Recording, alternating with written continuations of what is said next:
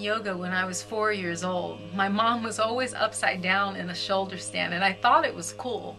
I seriously got into the practice about 15 years ago, and it has transformed my life. What is yoga, really? I asked Leslie Kaminoff, yoga educator and co founder of the Breathing Project. Yoga is, it's not as complicated as a lot of people would have it be. You know, you don't have to be a Sanskrit scholar. You don't have to be Indian. It's what happens when your body, your breath, and your mind are doing the same thing at the same time. At his New York based studio, Leslie offers advanced training on breath, movement, and anatomy. His book, Yoga Anatomy, is a favorite among yoga teachers. On an anatomical level, we go a little further and say that it has to do specifically with how the movements of the breath are coordinating with the movements of the spine. And that's an anatomical detail. Now, whether you even know that or not as a yoga teacher or practitioner, simply by asking someone to inhale as they're doing spinal extension, a back bend, and exhale as they're doing spinal flexion, which is a forward bend. Just that simple act that you do in the very first class, probably in the very beginning of that very first class you take when they're asking you to do a sun salutation, you're already bringing the mind, the breath, the body, including the spine, into a state of coordinated activity. A lot of back pain clears up, a lot of emotional baggage gets released, uh, a lot of the struggle that we've had with gravity and our own bodies disappears when they get more coordinated. And on a practical level, that's what it is. Now, as it turns out, on the deeper, more philosophical, even spiritual levels, the exact same principles apply. There is no difference. So, are you really doing yoga? Some people that are in classes that are called yoga and they're doing a practice that they're told is yoga, but if it excludes the breath, maybe it's not.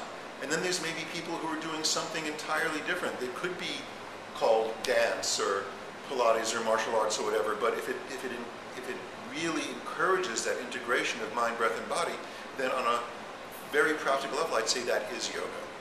Leslie believes that yoga should be accessible for everybody.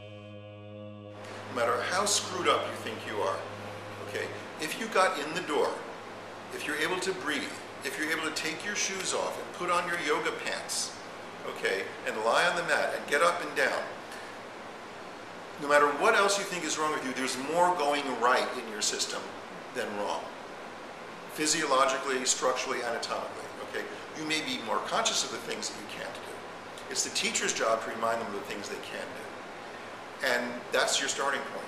Leslie sees yoga as a tool for learning about yourself, for building self awareness. Yes, you experience uh, obstructions, obstacles, areas of stiffness, weakness, and, and but the yoga makes you aware of all that.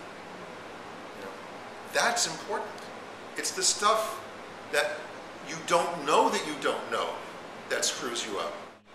Unknowingness of the unknowing that uh, is the most dangerous. And I think we all know people that kind of live in that place um, and have a very uh, sophisticated way of avoiding that knowing. Uh, and they usually don't show up to yoga class. Yoga is so much more than the physical postures. It is a way of looking at the world. Leslie often references the philosophy of his teacher, TKV Desikachar. You know, there's, if there's no recognition of dukkha, there can be no yoga.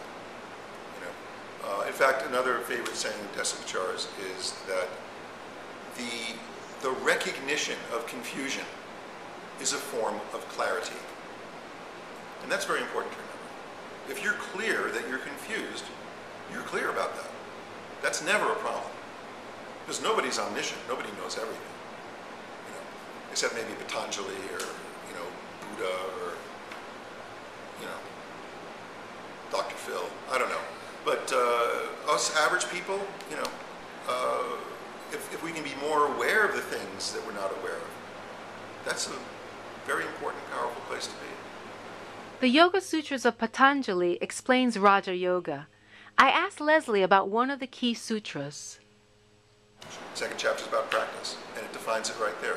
You know, tapas, svadhyaya, ishvara pranidhana. Uh, we keep coming back to that because it's the breath. You know, um, and by that I mean this idea of tapaha. Well, tapas, tapaha means to to change something out of out of its habitual state into a different state. It's changing the things you can. Is what it really is.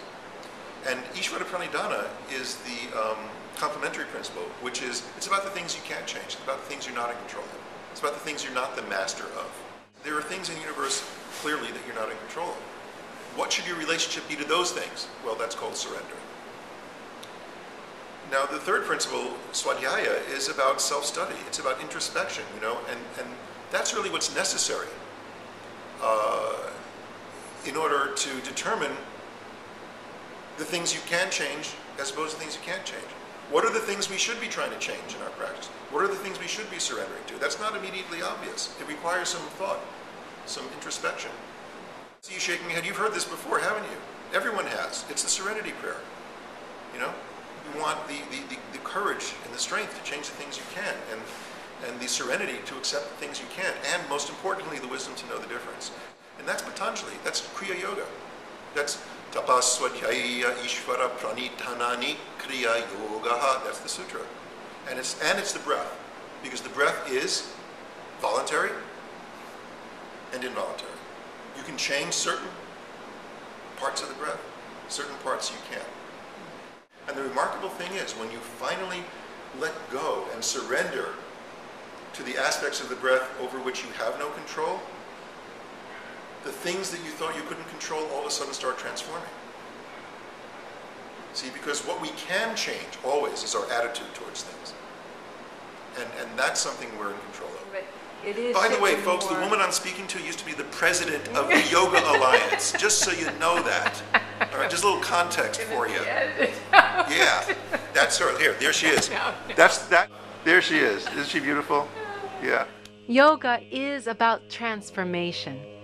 What are the things you want to change in your life? Take time to observe yourself. The power is in your hands.